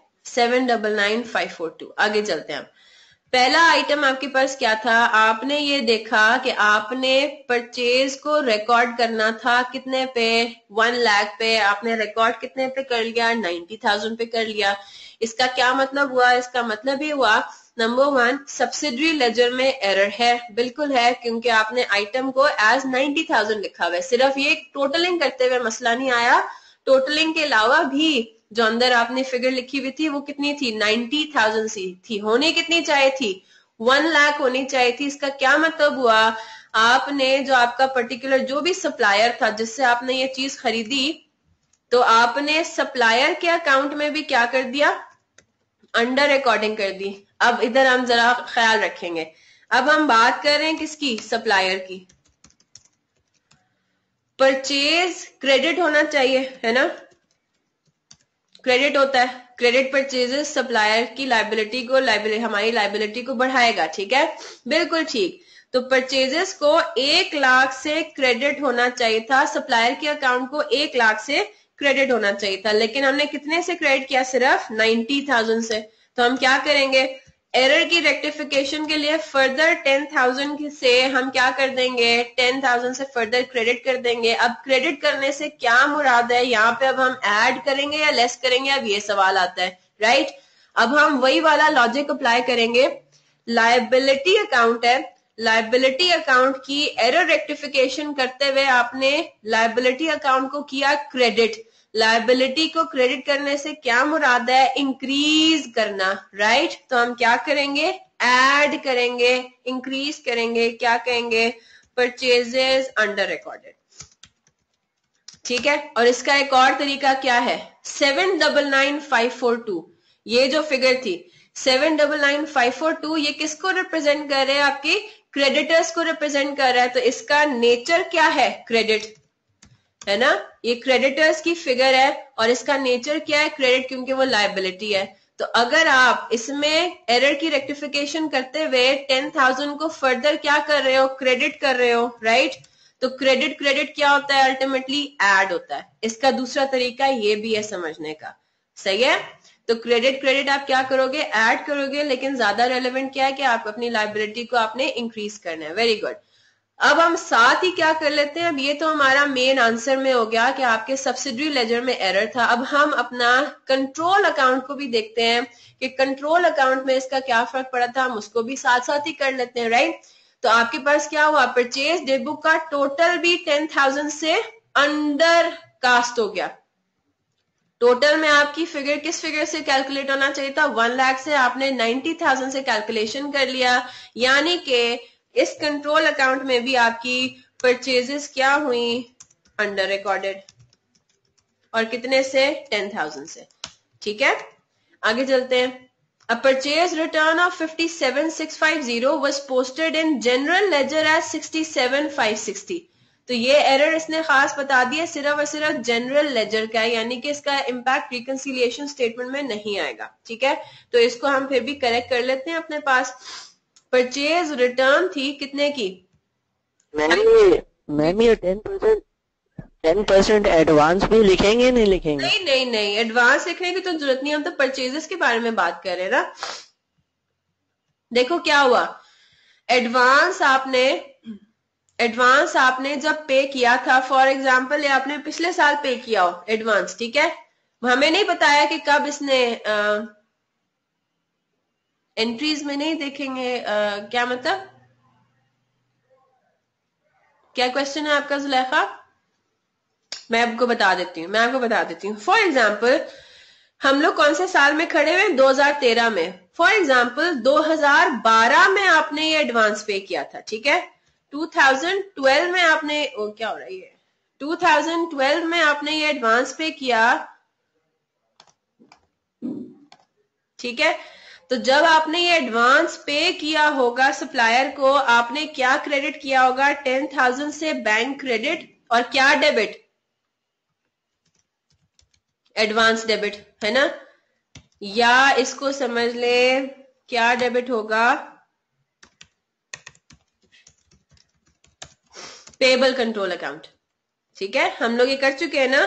जब आप एडवांस अगर पे कर रहे हो, किसको पे कर रहे हो? सप्लायर को।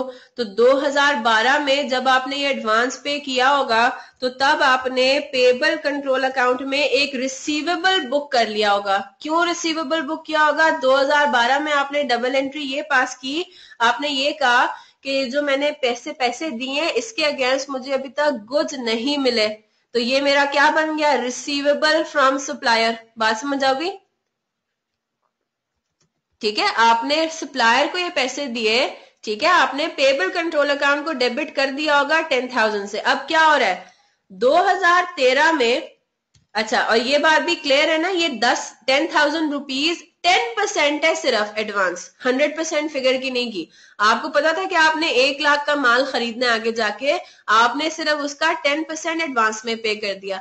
अब जब 2013 में आपको उसके अगेंस्ट गुड्स मिल जाएँगी, जब आपको गुड्स रिसीव हो जाएँगी तो आपने क्या डबल एंट्री पास करनी है? अब आप कहोगे कि मैंने परचेजेस को डेबिट करना है कितने से? एक लाख रुपए से। क्योंकि एक्चुअली जो आपको माल रिसीव हुआ है वो कितने का हुआ है? एक लाख रुपए का। और आपने क्रेडिट किसको कर देना है? ये बात समझ आ रही है? अब यहाँ पे जो एडवांस आपने किया था, उसका क्या हुआ देखें। आपने रिसीवेबल बुक किया हुआ है टेन थाउज़ेंड का। ठीक है? अगर हम ये ज्यूम कर लेते हैं कि अगर फॉर एग्ज़ाम्पल ये नहीं नहीं, चले, ठीक है, इसको इसी तरह से समझते हैं। वन लाख का जो आपने माल खरीदना था, उसका टेन परसेंट आपने पे कर चुके हैं पहले यानी कि आप ये बात कह रहे थे, पिछले साल के आखिर तक आप ये बात कह रहे थे कि भाई मुझे रिसीवेबल है अपने सप्लायर से। रिसीवेबल क्यों है? मैंने अपने उसको एडवांस दिया हुआ है। उसने मुझे अभी भी गुड्स सप्लाई करने हैं। अब जब आप गुड्स रिसीव करेंगे, आपने हमेशा डबल एंट्री क्या पास करनी है? आपने डबल एंट्री पास करनी है ये। परचेजेस डेबिट और पेबल कंट्रोल अकाउंट क्रेडिट अब ये जो आप क्रेडिट कर रहे हैं कंट्रोल अकाउंट को एक लाख रुपए। इसमें दस हज़ार रुपए के वो गुड्स भी शामिल है जिनकी आप पेमेंट पहले कर चुके हो। बात समझ आ रही है? तो आप देखो क्या किया आपने? अच्छा मैम। उन टेन अच्छा मैम ये जो कैरी जी जी बोले। ये जो ब्रॉड डाउन दिया हुआ है हम्म। इसमें इसमें वो टेन थाउज़ेंड माइनस हुआ हुआ है।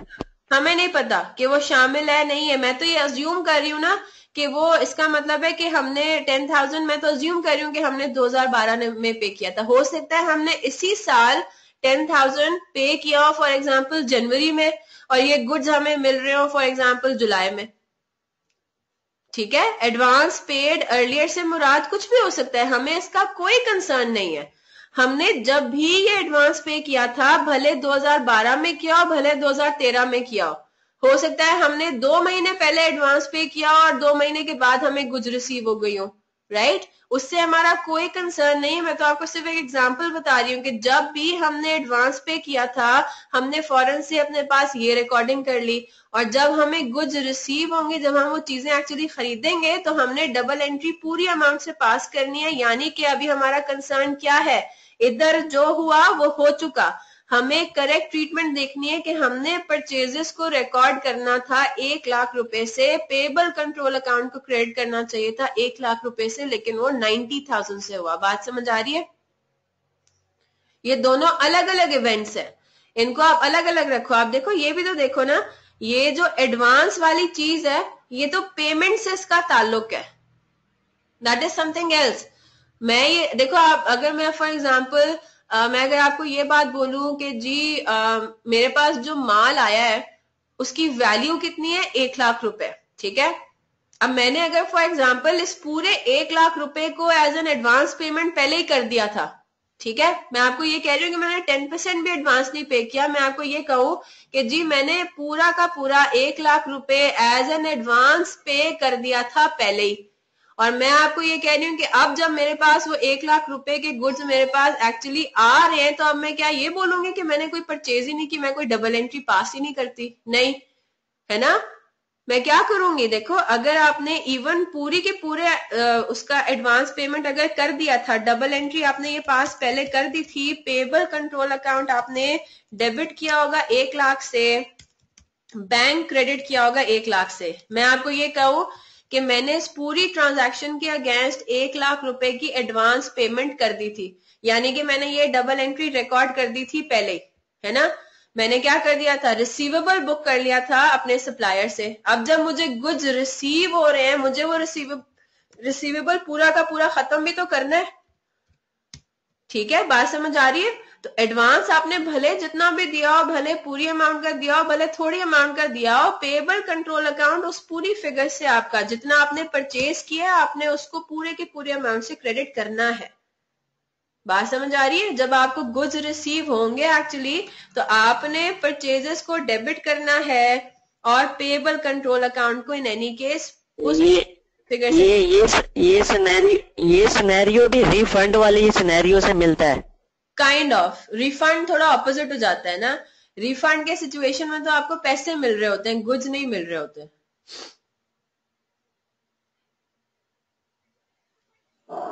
इसमें क्या है? इस सिनेरियो में ये सिचुएशन है कि आपने पैसे पहले दे दिए और अब आपको गुड्स मिल रहे हैं वाकई। मतलब जब आपको मिलेंगे तो आपने इस बात को देखे, ये बात अपने पास याद कर लें। ये इस बात का रट्टा मार लें कि परचेज डे बुक के अंदर जो रिडक्शन होगी ना, वो सिर्फ़ और सिर्फ़ जायज़ किस सिनेरियो में? ट्रेड डिस्काउंट के सिनेरियो में। कि अगर ये टेन परसेंट का ट्रेड डिस्काउंट होता ना एडवांस की बजाय तो मैं कहती कि हाँ ठीक है, एक लाख रुपए उसकी इनवॉइस वैल्यू थी और उसको रिकॉर्ड किया नाइन्टी थाउज़ेंड पे दैट्स फाइन क्योंकि ये डिस्काउंट था। यहाँ पे क्या ये डिस्काउंट नहीं है? ये सिर्फ़ क्या सिचुएशन है? आपने एक लाख रुपए की जो पेमेंट करनी थी ना, उसमें से टेन थाउज़ेंड आपने पहले ही पे कर दिया, बस ये बात हुई। परचेज आपकी टेन वन लाख की ही है। पेबल कंट्रोल अकाउंट में जो क्रेडिट परचेजेस आपने रिकॉर्ड करनी होती है, वो आप एक लाख की ही करोगे। क्लियर होगी बात? हाँ जी, जुलेखा। ठीक है? तो आपने बस इस बात को अगर अभी भी क्लियर नहीं है तो बस ये बात आपने याद रख लेनी है कि सिर्फ़ और सिर्फ़ डिस्काउंट के केस में आप डिडक्शन करोगे एडवांस पेमेंट अगर हुई हुई है तो आपने परचेज की ओरिजिनल फिगर को ही रिकॉर्ड करना है। ठीक है? आपके पास ये कोई लॉजिक नहीं बनती कि आप अपनी परचेज में दिखाओगे, जी, मैंने नाइन्टी थाउज़ेंड की परचेजेस की हैं। इस तरह से सोचो ना, अगर ये पूरे के पूरा एडवांस होता, एक लाख का एडवांस होता, इस तरह तो फिर आप परचेज डे बुक में कुछ लिखते ही ना। कि मैंने पहले ही पेमेंट किया हुआ है। डिडक्शन कर लेते ना, एक लाख परचेज हुई minus one lakh advance paid हुआ, यानी कि परचेज डे बुक में ज़ीरो रिकॉर्डिंग ये तो नहीं होता। यहाँ पे आपने वही काम किया। एक लाख परचेज है, जिसमें से टेन परसेंट एडवांस दिया हुआ है तो एक lakh minus ten thousand is equal to ninety thousand ninety thousand की रिकॉर्डिंग कर लो। अगर ये पूरा का पूरा एडवांस में पे हुआ होता one lakh minus one lakh यानी कि ज़ीरो रिकॉर्डिंग करते परचेज डे बुक में, नहीं। परचेज तो आपकी अभी हुई है एक लाख रुपए की। क्लियर होगी बात? चलें जी, आगे चलते हैं इसको। ये बात है, इन्होंने अगला एरर आपको दिया हुआ है, खास जनरल लेजर का, यानी कि ये एरर है सिर्फ़ और सिर्फ़ कंट्रोल अकाउंट का। देखो, ये जो एडवांस वाली बात है, इंशाल्लाह आगे जाके फर्दर और क्लियर हो जाएगा, ठीक है? कि एडवांस में हम करेंगे क्या, कैसे नहीं होगा, वो इंशाल्लाह क्लियर हो जाएगा with the passage of time हम और क्वेश्चंस करेंगे उससे और चीज़ें क्लियर होंगी। परचेज रिटर्न थी 57,650 की जो कि आपने पोस्ट कर दी in the general ledger as 67,560 यानी कि ये एरर सिर्फ़ और सिर्फ़ कहा हुआ है? कंट्रोल अकाउंट में हुआ है। ठीक है? और क्या एरर हुआ है आपका? परचेज रिटर्न थी 57650 और उसको आपने पोस्ट कर दिया यानी कि जो डिफ़ॉल्ट उसका इफ़ेक्ट है आपने उसको बिल्कुल ठीक ठीक किया लेकिन फिगर आपने गलत लिख दी। परचेज रिटर्न कंट्रोल अकाउंट में कहा आ रहा होता है? डेबिट साइड पे। तो इसको आपने डेबिट साइड पे ही लिखा, लेकिन कितने से लिख दिया? ज़्यादा फिगर से लिख दिया। सिक्सटी सेवन फाइव सिक्सटी कितने से ज़्यादा है ये? Nine nine one zero sixty seven five sixty minus five seven six five zero करें, कितना आंसर आ रहा है? Nine nine one zero right तो आपने अपनी परचेज रिटर्न को भी जी जी। बेसिकली क्या कर दिया? परचेज रिटर्न को ओवर रिकॉर्ड कर दिया। तो अब आपको क्या करना है? क्रेडिट करना पड़ेगा। कितने से? 9910 से। ठीक है? क्योंकि आपने डेबिट साइड पे परचेज रिटर्न ज़्यादा दिखा दी थी तो अब आप उसको क्रेडिट कर देंगे, उसका इफ़ेक्ट नलीफाई करने के लिए। आगे चलें। Goods costing rupees 35,600 were purchased on 25 नवंबर 2013 ठीक है जी? आपने गुड्स खरीदे ठीक है? And appropriately recorded in the books यानी कि आपने इसको परचेज डे बुक में रिकॉर्ड किया कंट्रोल अकाउंट में रिकॉर्ड किया सब्सिडरी लेजर में रिकॉर्ड किया सारा बिल्कुल ठीक ठीक हो गया। फिर क्या हुआ? फ़र्स्ट दिसंबर 2013 को it was observe that the goods received were defective and were return to the supplier यानी कि फिर आपने परचेज को रिटर्न कर दिया। Necessary entries were made for the return of goods यहाँ तक भी सब कुछ बिल्कुल सही सही हो रहा था। अब आगे क्या कह रहा है? However after negotiations ABC traders agreed to accept the goods. And the supplier allowed a discount of 10% on invoice value to compensate for the defects. हुआ क्या? निगोसिएशंस के बाद आपने अभी गुड्स रिटर्न भी कर दिए। ठीक है? एबीसी ट्रेडर्स कौन है? एबीसी ट्रेडर्स हम हैं, जिनकी हम अकाउंटिंग कर रहे हैं। तो निगोसिएशंस के बाद एबीसी ट्रेडर्स ने कहा कि चले, ठीक है, मैं ये गुड्स वापस आपसे खरीद लेता हूँ। आप रिटर्न कर चुके थे ना, ये वाली ट्रांजेक्शन में आपने परचेज को रिकॉर्ड किया और आपने परचेज रिटर्न भी कर दी राइट रिकॉर्डिंग भी हो गई उसकी। तो अब यहाँ पे क्या हो रहा है? एबीसी ट्रेडर्स ये कह रहे हैं कि ठीक है, मैं गुड्स आपसे दोबारा ले लेता हूँ और जो सप्लायर है उसने कहा कि ठीक है, आप ये गुड्स ले लें और हमारी तरफ़ से आपको 10 परसेंट डिस्काउंट मिल गया on invoice value to compensate for the defects ठीक है? बात समझ आ रही है? अब आगे जाके क्या कह रहा है? The goods were received back by ABC traders on thirty December 2013 हमारा ईयर एंड है थर्टी फ़र्स्ट दिसंबर यानी कि इसी साल में एक दिन पहले, खत्म होने से एक दिन पहले आपने गुड्स भी वापस रिसीव कर लिए. The credit note was issued by the supplier on the same date ठीक है? तो सप्लायर ने क्या किया था आपको? जो भी डॉक्यूमेंट इश्यू करना था क्रेडिट नोट बेसिकली उसने इश्यू करना था। क्यों? ये बात आपको इंशाल्लाह मैं बाद में समझाऊँगी।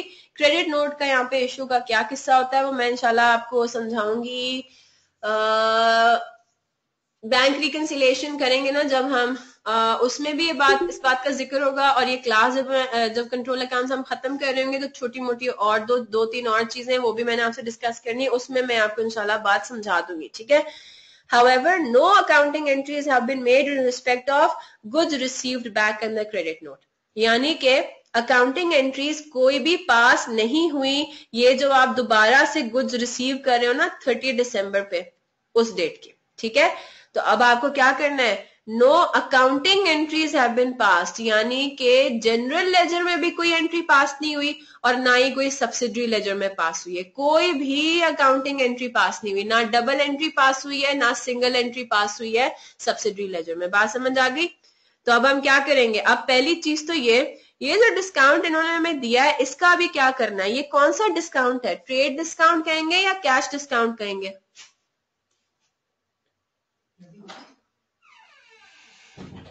जी।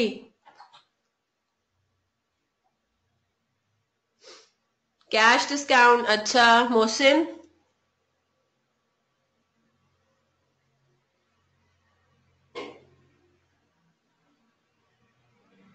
ये डिस्काउंट तो है, लेकिन अभी ये बात आ जाती है ना कैश डिस्काउंट है ट्रेड डिस्काउंट है। ये जो हम गुज को वापस रिसीव कर रहे हैं, क्या हमें इसको इसी फिगर पे रिकॉर्ड करना चाहिए या कम फिगर पे? हाँ जी। Trade discount trade discount Zulekha clear होगी बात? क्यों है ये ट्रेड डिस्काउंट कैश डिस्काउंट क्या होता है? सेटलमेंट डिस्काउंट क्या होता है? वो तो ये होता है कि आपको अगर सामने वाला पार्टी ये बोले कि अगर आप इतने दिनों में पे कर दोगे तो आपको इतना डिस्काउंट मिलेगा। क्या इस डिस्काउंट की नीयत वो है? बिल्कुल ठीक है। इनवॉइस वैल्यू पे ऑन इनवॉइस वैसे भी कोई डिस्काउंट अगर लिखा हो तो वैसे भी वो ट्रेड डिस्काउंट होता है। लेकिन इसका मोर रेलिवेंट आंसर क्या है? देखो कैश डिस्काउंट की नियत क्या होती है? कैश डिस्काउंट आपको तब मिलता है अगर आपको सामने वाली पार्टी बोले कि अगर आपने पेमेंट विद इन इतने दिन कर दी। और उसका रीजन क्या होता है? कैश डिस्काउंट का कि आप जल्द अज जल्द पेमेंट करो। यहाँ पे डिस्काउंट देने की नीयत क्या है? मकसद क्या है डिस्काउंट देने का? डिस्काउंट देने का मकसद ये है कि आप डिफेक्टिव गुड्स को एक्सेप्ट कर रहे हो। और आपको ये कंफर्म है कि आपको ये डिस्काउंट मिल जाएगा या मिल गया।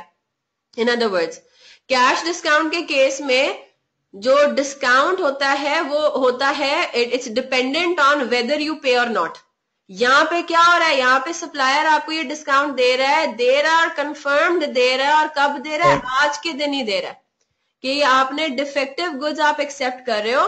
बिकॉज़ ऑफ़ दैट हम क्या करेंगे? जो गुड्स की ओरिजिनल अमाउंट थी thirty five thousand six hundred हम वो वो नहीं उस पर आपको नहीं दे रहे हैं। हम आपको किस पे दे रहे हैं? उनसे टेन परसेंट कम वैल्यू पे।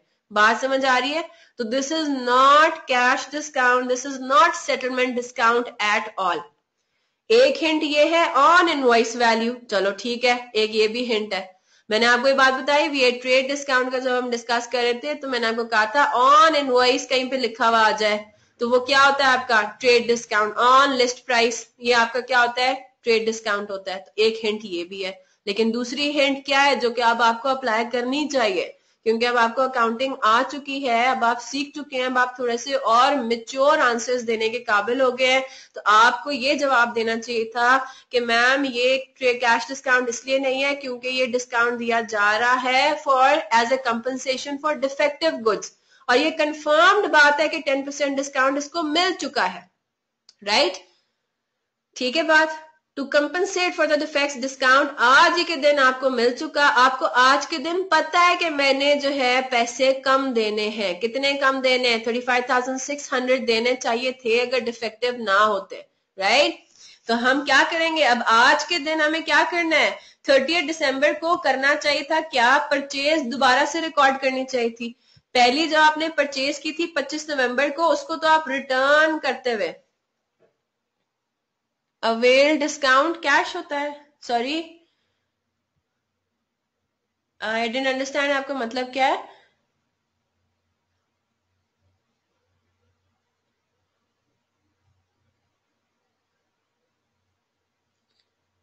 बिल्कुल, अगर, नहीं नहीं अर्ली अवेल करना वो आपको आपको बताएगा कि अगर कैश डिस्काउंट है तो उसका मतलब ये कि अगर तो कस्टमर ने जल्दी पे कर दिए तो उसको वो मिल जाएगा, वरना नहीं मिलेगा। ठीक है? वो कैश डिस्काउंट होता है। और वो डिपेंडेंट होता है कि कस्टमर अब पे करता है फ्यूचर में या नहीं करता। यहाँ पे तो अब ऐसी कोई सिनेरियो है ही नहीं ना। ठीक है? तो अब यहाँ पे हमें क्या करना है? थर्टी दिसंबर को हमें क्या करना चाहिए था? दोबारा से एज अ फ्रेश परचेज इसको रिकॉर्ड करना चाहिए था। क्योंकि पहली वाली परचेज को तो आप रिटर्न करता हुआ भी दिखा चुके हैं राइट अब आपको क्या करना चाहिए था? थर्टी दिसंबर को आपको एक परचेज रिकॉर्ड करनी चाहिए थी परचेजेस डे बुक में, और कितनी फिगर पे? Thirty five thousand six hundred में से टेन परसेंट लेस करके ट्रेड डिस्काउंट लेस करके राइट तो अब हम इसको देखते हैं। अब यहाँ पे ये एरर का मसला कहाँ हुआ? कहीं पे भी कोई अकाउंटिंग एंट्री पास नहीं हुई, ठीक है?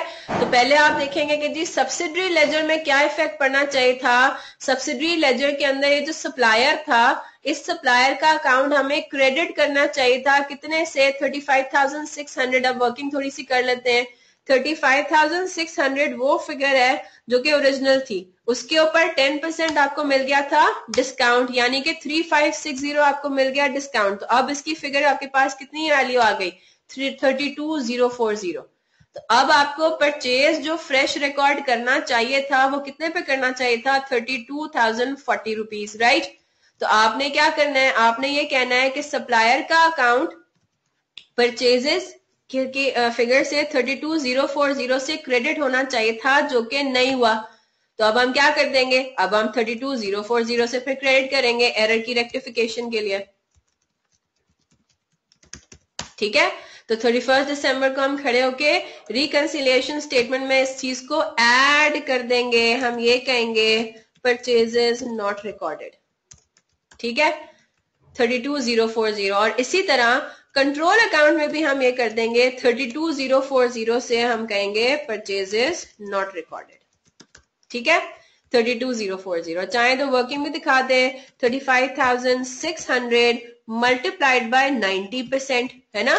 जब हमने इसमें से टेन परसेंट की अमाउंट निकाल देंगे तो वो पीछे रिजल्टेंट कितना बचेगा? नाइन्टी परसेंट तो हम इसको शॉर्टकट के तरीके से भी करेंगे। Thirty five thousand six hundred का अगर आप नाइन्टी परसेंट लेते हो तो वो thirty two zero four zero आता है। ये नाइन्टी परसेंट आया कैसे? टेन परसेंट आपने दे दिया डिस्काउंट तो हंड्रेड में से टेन निकल गया, बच कितना गया? Ninety percent. ठीक है? तो ये आपका बच गया नाइन्टी परसेंट। इसको आप इस तरह से भी लिख सकते हैं। चलें जी, क्लियर है यहाँ तक? अच्छा अब एक काम ये करें। मेरी असल में अभी दूसरी क्लास है तो पॉइंट्स नंबर फोर फाइव और सिक्स अभी आप बैठे हुए हैं, क्लास को अज्यूम ये करेंगे कंटिन्यू हो रही है, ठीक है? फोर, फाइव और सिक्स को करें अपने पास। जिस तरह से भी समझ में आता है। मैं डिस्कस सिर्फ़ कर लेती हूँ। अटेम्प्ट आपने खुद खुद करना है, ठीक है? Purchase of goods amounting to rupees sixty three two fifty from Salim and company were recorded as purchases from Salimi and company in the purchase day book दोबारा पढ़ लेते हैं।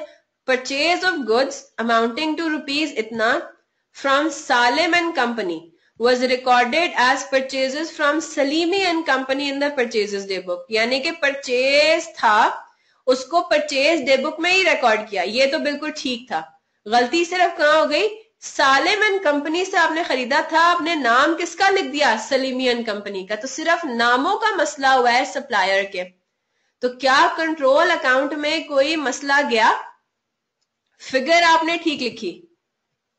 कंट्रोल अकाउंट में कोई मसला है? नहीं, क्योंकि टोटल में अमाउंट तो आपकी सही गई। अब देखते हैं सब्सिडरी लेजर सब्सिडरी लेजर में कोई मसला है?